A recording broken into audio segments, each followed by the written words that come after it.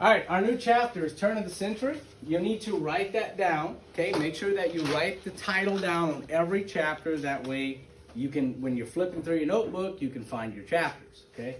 So the time period roughly here is from 1890 to 1910. That's the area we're in. Uh, this is a beautiful colorized photograph of New York City. And if you look at it, notice that, now, by the way, this is 1903, whenever this was taken. You notice, look at the streets. They're made out of dirt, okay? In New York, there's skyscrapers all around and the streets are still made out of dirt. So it's definitely a different time than it is right now, okay? All right, dawn of mass culture, okay? Mass culture means it's a culture that everybody experiences. Okay, we all have this American culture. You learned kind of about that in the melt with the melting pot last chapter.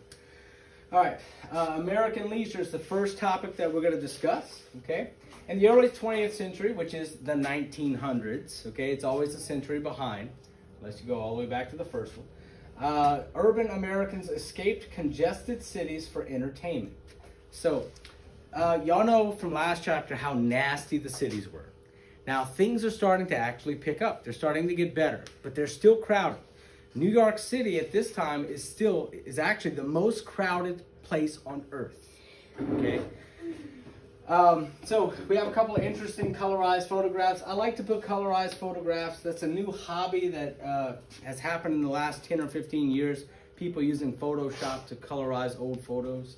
So we have ice delivery, okay, uh, at the turn of the century. There were no ice makers in your ice box, okay? Your ice box was literally a box that you would put ice in. So it would keep the whole box cold. It was an ice chest that stood up, okay? You had a drain pan at the bottom. You had to hook it up to plumbing so it would slowly drain out the ice, uh, out the water. Now, when ice got delivered, it was relatively cheap and people bought it and it kept their food good, okay? You could also set up a makeshift uh, air conditioner with it.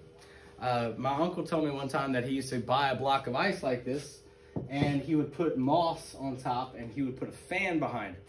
And that would actually create an air conditioner for the whole room. So air conditioning did exist at this time, but it was not common and it was very expensive. Americans like to go to the beach, especially in New York, uh, at the turn of the century, and you could tell, look at these lovely bathing suits. Uh, this is what they dress like, okay? Um, in fact, ladies were banned from wearing bikinis and stuff like that in America. Now, that kind of thing was pretty common in France. In fact, in France, it's kind of common to go to the beach naked back then. Uh, they still have nude beaches today. Uh, but we don't have that many of them. But man, look at that. Look at all the fun they're having in their, what are those? anyway, I mean, you imagine trying to get a tan in that one? Okay. I'm going to the beach at 8 and got a meeting at 10. Ghost is bad. Okay, next one. If it works. Okay, so uh, this is actually Washington, D.C., along the Potomac River. I can tell that because this is the Washington Monument in the background, okay? So if you're looking at this, this is a strange picture. What is this dude doing, okay? This guy is actually measuring this lady's bathing suit. This is probably taken around the 20s, okay? So now we've progressed from the leggings and everything under the bathing suit to a point where now we can show knees, okay? Um, and man, look at those ankles. Anyway, so this guy's measuring, and actually the, the rule was your skirt had to be four inches above the knee. Some of you girls probably have heard that rule before. It's way back from the 1800s, and it's never been changed. Uh, and it, it was a swimming suit rule.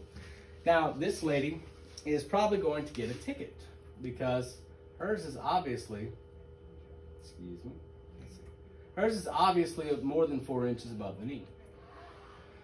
All right. So one of the great things America used to like to do in New York is go to the first amusement park ever in American history, the first great one, okay, which is called Coney Island.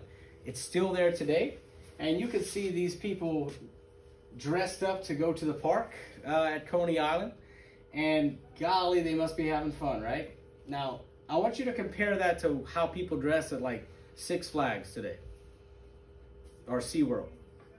Usually, you know, you got some people with some pretty short stuff on compared to this.